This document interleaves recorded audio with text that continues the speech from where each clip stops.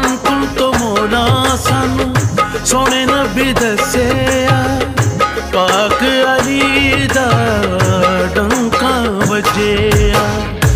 ਅਰਸ਼ੀ ਤੇ ਫਰਸ਼ੀ ਕਰਦੇ ਸਲਾਮ ਨੇ ਬੜੇ ਸਾਰੇ ਮੇਰੇ ਮੋਲਾ ਅਲੀ ਦੇ ਗੁਲਾਮ ਨੇ।